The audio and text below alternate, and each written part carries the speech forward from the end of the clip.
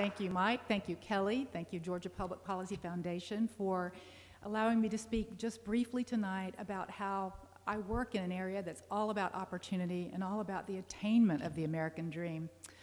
Um, I, have, I was born in Georgia and have lived in Georgia all my life, and I count that among my blessings. Um, after graduating from the University of Georgia, came to Atlanta, became a CPA, worked for 25 years, really more than 25 years, in the for-profit sector. Um, I love business. I love, like any good conservative, I love profits. Um, and I had never really felt drawn to the nonprofit world or to a particular cause. But somewhere along the way, that changed. My husband Jim and I have raised two daughters who now are thankfully in their 20s and both employed.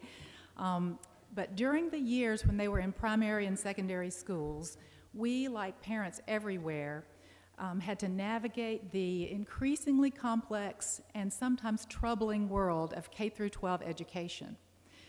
After several years in public schools, we actually moved our daughters to private schools, private Christian schools.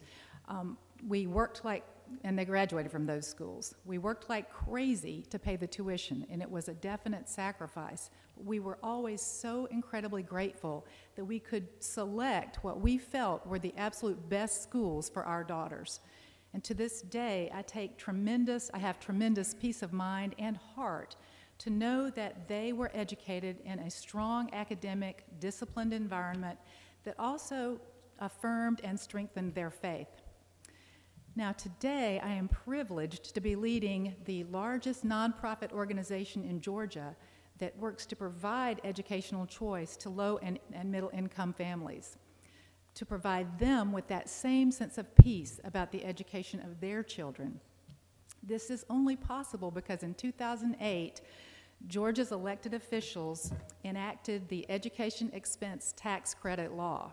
This law allows Georgia taxpayers to make contributions to student scholarship organizations, and in exchange for those contributions, they receive a 100% Georgia income tax credit.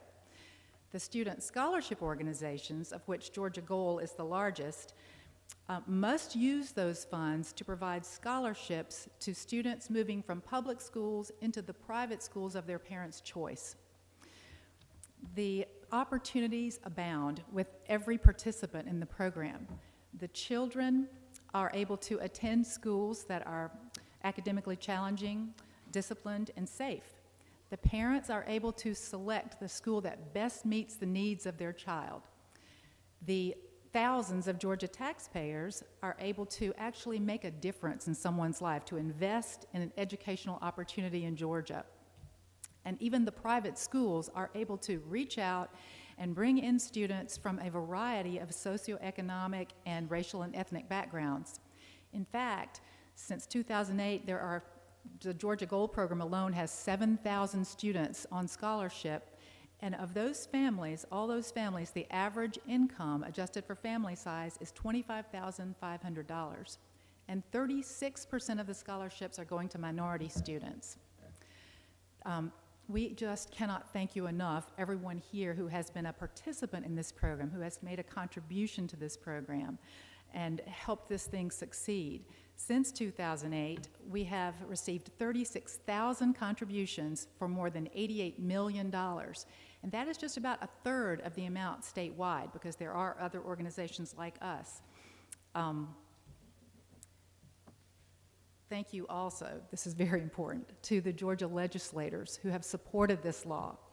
It is truly your vision, creativity, and courage that gave birth to the best tuition tax credit law in the country.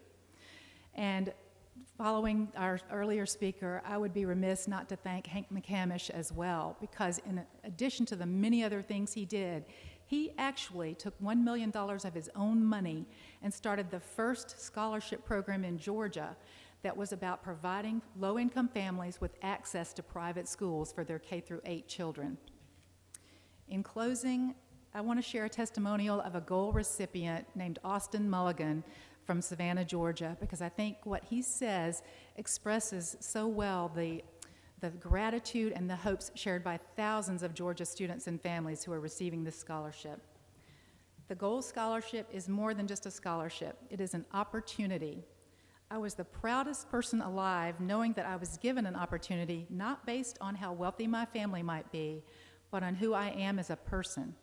This is my chance to show the world and myself what I can do. Thank you.